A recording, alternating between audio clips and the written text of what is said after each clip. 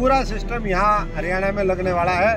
और भाई खुली चुनौती है, जिसमें दम हो, इस तृणमूल ने रोक के दिखाई हो, और जो पापी है, वो भाई तैयार रही हो। भ्रष्टाचारी, पापी, दुराचारी, अत्याचारी, जिसने इस हरियाणा का शोषण किया, इस हरियाणा को लूटने का काम किया, अब उनकी खैर नहीं। हम जब अकेले ही इन पापियों को खत्म करने का संकल्प और बेड़ा उठाए हुए थे, अब तो शेरनी हमारे साथ है। करते हैं नाश इनको। कांग्रेस मुक्त भारत, ये बीजेपी का था। उसमें कांग्रेस शामिल थी, वो तो कर दिया उन्होंने काम कर दिया। अब बीजेपी मुक्त भारत, बीजेपी और कांग्रेस मुक्त भारत, वो हम मिलके करें कांग्रेस छोड़कर तृणमूल कांग्रेस में आए अशोक तंवर ने हरियाणा में विरोधियों को खुली चुनौती दे डाली है। तंवर का कहना है कि गोवा चुनाव के बाद टीएमसी का पूरा कुनबा हरियाणा में हुंकार भरने के लिए आएगा। जिसके बाद सभी भ्रष्टाचारी और पापी सियासी पार्टियों का हरियाणा से सफाया हो जाएगा। जी हाँ, अशोक तंवर जींद में आयोजित कार्यकर्ता सम्मेलन में पहुँचे थे, जहाँ पहले तो तंवर का कांग्रेस प्रेम छलका उसके बाद बिना नाम लिए हुडा समेत सभी विरोधी दलों को ज़बरदस्त खरी खोटी सुनाई। तंवर ने कहा कि आने वाले समय में हरियाणा के अंदर 45 दिनों की यात्रा निकालेंगे, जिसके बाद सभी दलों का सफाया कर दिया जाएगा। प्रयत्नो विधेय प्रयत्नो विधेय प्रयत्नो विधेय। यानी कि प्रयत्न करना चाहिए प्रयत्न करना चाहिए। और हिम्मत का राम हिमायती होता है मेहनत अगर हम करेंगे उसी मेहनत पे तो और कौन सा कांग्रेसी सड़कों पे निकला था भाई साहब? अकेले अशोक तंवर और उसकी टीम ने तो यहाँ पर पचास पचपन पे कांग्रेस ला के खड़ी कर दी थी। और उन्होंने वो सारा बीजेपी को फिर बेच दी वो टिकटें सारी। फिर उनके हवाले कर दिया।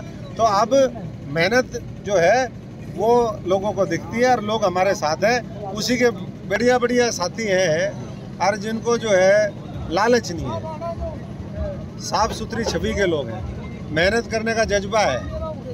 जो दूसरे का शिकार, दूसरे की मेहनत अपनी बना करके उसको नहीं खाना चाहते हैं, अपनी मेहनत करके मेहनत की रोटी खाना चाहते हैं, उन साथियों को और दूसरी पार्टियों में भी जो साथी हैं बढ़िया बढ़िया ये पूरा कुनबा हम आने वाले समय में जोड़ देंगे।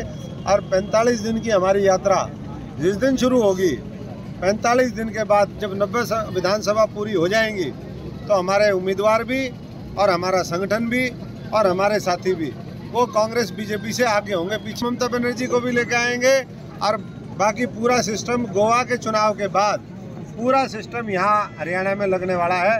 और भाई खुली चुनौती है, जिसमें दम हो इस तृणमूल ने रोक के दिखाई हो, और जो पापी है, वो भाई तैयार रही हो। भ्रष्टाचारी, पापी, दुराचारी, अत्याचारी, जिसने इस हरियाणा का शोषण किया, इस हरियाणा को लूटने का काम किया, अब उनकी खैर नहीं। विरोधियों पर तंवर का हमला यही नहीं थमा। तंवर ने कहा कि मैं तो अकेला ही इन पापियों का सर्वनाश करने के लिए काफ़ी था। अब तो शेरनी, ममता दीदी भी उनके साथ हैं। ऐसे में आने वाले समय में टीएमसी भारत से कांग्रेस और भाजपा मुक्त मुहिम छेड़ेगी। और ये काम सिर्फ़ ममता दीदी ही कर सकती हैं। है भाई साहब मैं मजदूर किसान का बेटा हूँ धरती पाड़ का पानी पीने वाला हूँ। रिस्पॉन्स नहीं मिला था पार्टी को उस टाइम मैं वही कह रहा हूँ ना के डी सिंह का चलो सबका अपना अपना रोल है उसका कोई और रोल होगा। और हम जो है हम जब अकेले ही इन पापियों को खत्म करने का संकल्प और बेड़ा उठाए हुए थे अब तो शेरनी हमारे साथ है। कर देंगे नाश इन मैं कह रहा हूँ इन पापियों को हटाने का काम ही ममता जी करेंगे, और किसी को बस की बात नहीं। इसीलिए तो मैंने किसान आंदोलन का और तीनों कृषि काले कानून वापस होने का उदाहरण इसीलिए दिया कि अगर सारे किसान संगठन अलग अलग काम करते, अपनी व्यक्तिगत जो उनके हित थे या ईगो थी, उसको खत्म नहीं करते, और सारे ये कहते हम चौधरी हम चौधरी। तो किसी ने किसी को चौधरी मान करके उसकी लीडरशिप को स्वीकार करना पड़ता है, तब जाकर के मामला होता है। और आज ममता जी के अलावा पूरे देश में कोई नहीं। अखिलेश हो, कोई और दूसरे साथी हो, पूरे देश में कई मुख्यमंत्री ऐसे हैं जो ममता जी की लीडरशिप में आने वाले समय में इस देश से भाजपा राज को समाप्त करेंगे। कांग्रेस मुक्त भारत, ये बीजेपी का था। उसमें कांग्रेस शामिल थी, वो तो कर दिया उन्होंने काम कर दिया। अब बीजेपी मुक्त भारत, बीजेपी और कांग्रेस मुक्त भारत, वो हम मिलके करें तंवर ने कहा कि आज भाजपा सरकार से पूरी देश की जनता परेशान है और वो भाजपा को सत्ता से हटाने के लिए बेकरार बैठी हैं। उन्होंने कहा कि कई राज्यों में विपक्ष मज़बूत है, जनता के पास विकल्प भी है, लेकिन कई राज्यों में विपक्ष खंडित है और वहाँ टीएमसी मैदान में उतरकर भाजपा से लोहा लेने को तैयार है। किसान का चेहरा हूँ, नौजवान का चेहरा हूँ। हमारी माताओं बहनों की सुरक्षा में खड़ा हुआ एक सिपाही हूँ। तो ये हमारा काम है। मैं मैं चेहरे मेरे में विश्वास करता नहीं हूँ कभी। करके आए हैं तो बाकी राज्यों में क्या देखते हैं? पंजाब में उत्तर प्रदेश में देखो? बाकी पूरे देश के अंदर बीजेपी को लोग साफ़ करना चाह रहे हैं। और जहाँ जहाँ उनको विकल्प मिल जाएगा कई जगह उनको विकल्प हो सकता ना भी मिले।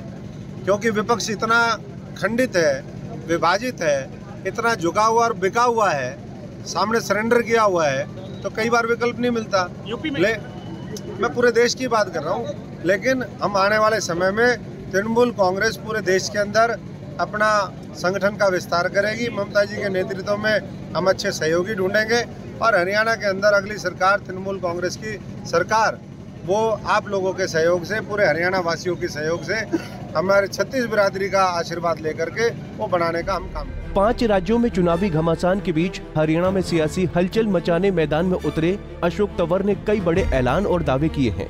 तंवर का कहना है कि भाजपा की तानाशाही के आगे विपक्ष पूरी तरह से सरेंडर है, लेकिन टीएमसी लगातार जनता के मुद्दों को उठाते हुए संघर्ष कर रही है और एक दिन टीएमसी ही देश में बदलाव लाएगी। इतना ही नहीं, तंवर ने इस मौके पर यह भी दावा किया कि हरियाणा में भी अगली बार टीएमसी ही सरकार बनाएगी, क्योंकि भाजपा, कांग्रेस, जेजेपी और इनेलो को जनता परख चुकी है। जींद से अनिल कुमार, पंजाब केसरी टीवी। हमसे जुड़े रहने के लिए हमारे YouTube चैनल को सब्सक्राइब करें और नई वीडियो की नोटिफिकेशन के लिए बेल आइकॉन को दबाएँ। अगर आप ये वीडियो Facebook पर देख रहे हैं तो लाइक ज़रूर करें और ज़्यादा से ज़्यादा शेयर करें धन्यवाद